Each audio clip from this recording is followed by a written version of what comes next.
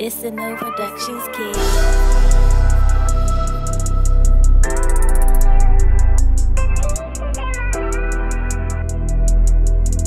Don't act like you don't know. It's the no on the track.